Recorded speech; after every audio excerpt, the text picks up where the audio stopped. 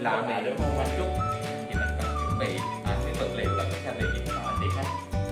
Thì ờ, để mình ờ, chuẩn bị cho cái ờ, món mà cá phi lê sốt chanh dây này thì ờ, thông thường á thì không chỉ là cá điêu hồng không mình sẽ làm sốt chanh dây được. À, thì có rất là nhiều loại cá có thể là mình làm cái món sốt chanh dây này giống như là cá mú cá tầm hoặc là cá chẽm à, và rất rất là nhiều loại cá để mình phi lê mình sốt mình làm món canh dây. Nhưng hôm nay á, thì mình ở đây mình hướng dẫn cho cả nhà là làm món cá điêu hồng để thuận tiện khi mà ở nhà mình có thể là mình thao tác hoặc là mình làm thì nó cũng sẽ dễ hơn. Thì à, phần cá điêu hồng á, thì mình sẽ phi lê ra như thế này để khi mà mình à, chiên lên và lát nữa mình ăn mình sẽ không có cảm giác để nó bị à, còn xương nữa. Đó là một cái à, cả nhà mình lưu ý. Thì ở đây thì đã um, nặng ra sẵn rồi. Thì cái phần chanh dây thì khi mà mình à, mua chanh dây là mua chanh dây chín.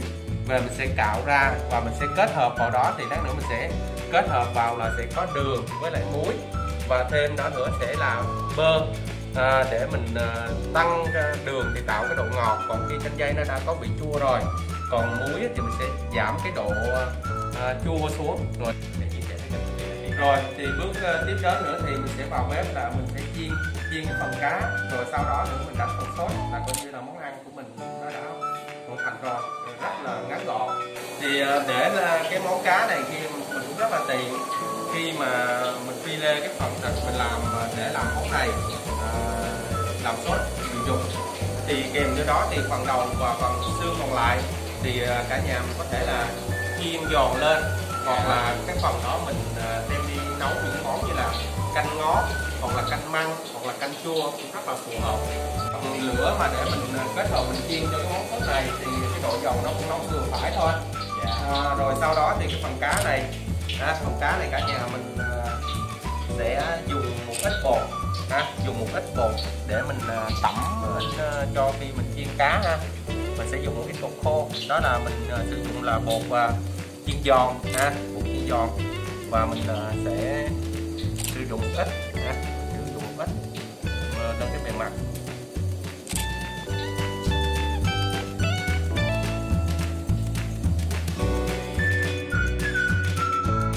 Rồi sau khi mà cái phần bột nó đã được thấm đều hết cái phần cá thì cái dầu lượng dầu nó đã nóng ha, thì mình sẽ thả cá vào ha, sẽ thả cá vào.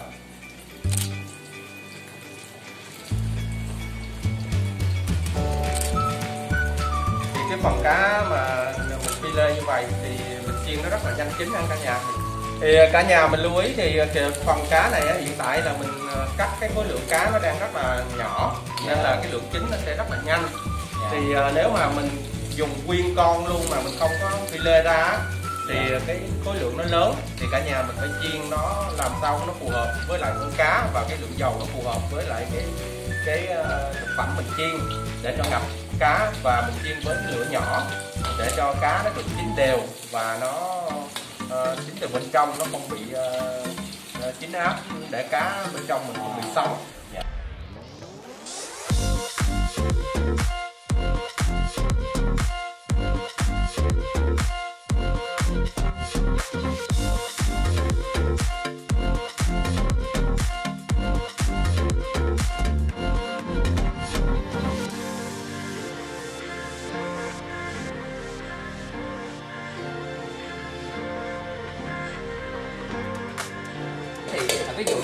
loại cá đi thì mình có thể kết hợp với là cái gì món món khác được không anh? Thì ờ, để làm cái món ờ, sốt chanh dây này cho nhiều loại cá thì nó sẽ phù hợp hơn. Dạ. À, thì thông thường á, thì giống như chanh dây này thường á, thì mình cũng làm bánh hoặc làm mứt hoặc là làm rau câu hoặc làm có tay nhưng mà hôm nay mình đã chuyển qua là mình sẽ chế biến về những con cá. Dạ. Thì sau khi mình phi bơ lên cho nó có mùi thơm lên thì cái phần à, chanh dây mình đã cạo sẵn thì mình sẽ cho vào. Đó, mình cho vào mình, cho nó vào và mình đảo đều. Đó, đảo đều và mình sẽ cho một ít nước. Đó, mình cho mình một ít nước.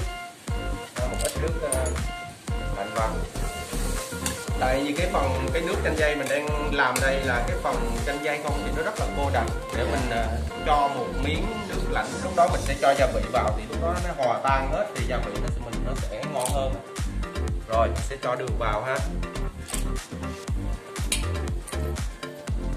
Muối. Sứ muối. Thì uh, cái uh, thường á thì chanh dây á là nó có vị rất là chua. Dạ. Thì uh, cả nhà khi mình làm cái món chanh dây này thì mình lưu ý là về cái phần chanh dây á thì mình mình chỉ nêm á đó là muối muối với lại đường thôi.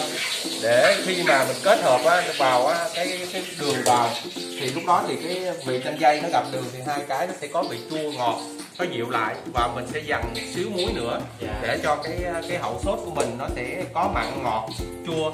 Nó đều nhau. À, nhớ là cả nhà mình đừng có nêm thêm giống như bột ngọt hay hạt nêm gì nữa thì lúc đó cái vị chanh dây của mình nó sẽ bị mất vị đi.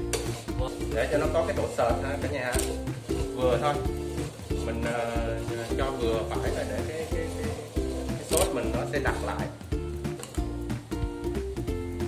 Thì cái ờ, đầu tiên hết thì giống như là phần cá nè phần cá mình chiên là nó sẽ vàng đều à, vàng đều mà không bị khô. Thì à, bột thấm mỏng vừa phải à, phần sốt thì nó sẽ vị nó sẽ không chua quá và mặn ngọt nó đều nhau. Đó là cái món để kết hợp cho cái cái món cái sản phẩm của mình.